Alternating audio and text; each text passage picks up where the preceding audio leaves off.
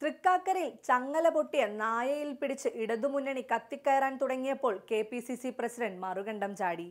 കണ്ണൂരിൽ സാധാരണയായി പ്രയോഗിക്കുന്ന ചൊല്ലാണ് താൻ കിട്ടിയ അവസരത്തിൽ പറഞ്ഞതെന്നാണ് കെ സുധാകരൻ പറയുന്നത്. മുഖ്യമന്ത്രിയെ മോശമായി പരാമർശിച്ചിട്ടില്ലെന്നും ഇനി അങ്ങനെ തോന്നുന്നുവെങ്കിൽ എല്ലാം അങ്ങ് പിൻവലിക്കുകയാണെന്നാണ് കെ പി സി സി അധ്യക്ഷൻ പറയുന്നത്.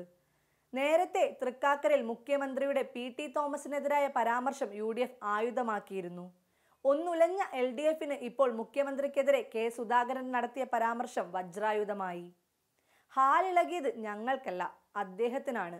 ഒരു നിയോജക മണ്ഡലത്തിലെ ഉപതെരഞ്ഞെടുപ്പിൽ ചങ്ങല പൊട്ടിയ നായ വരുന്നത് പോലെയല്ലേ അദ്ദേഹം വരുന്നത്?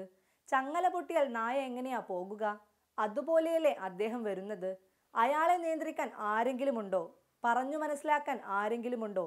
അയാൾ ഇറങ്ങി നടക്കുകയല്ലേ എന്നായിരുന്നു കെ സുധാകരന്റെ പരാമർശം.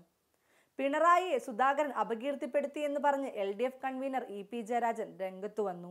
പിന്നാലെ പ്രസ്താവന മനഃപൂർവമെന്ന് എം സ്വരാജ് പറഞ്ഞപ്പോൾ പരാമർശം പിൻവലിച്ചതുകൊണ്ട് തെറ്റായ പ്രവണത മാറില്ലെന്നും തൃക്കാക്കരയിലെ ജനങ്ങൾ സുധാകരന് മറുപടി നൽകുമെന്നും മന്ത്രി പി രാജീവ് പറഞ്ഞു.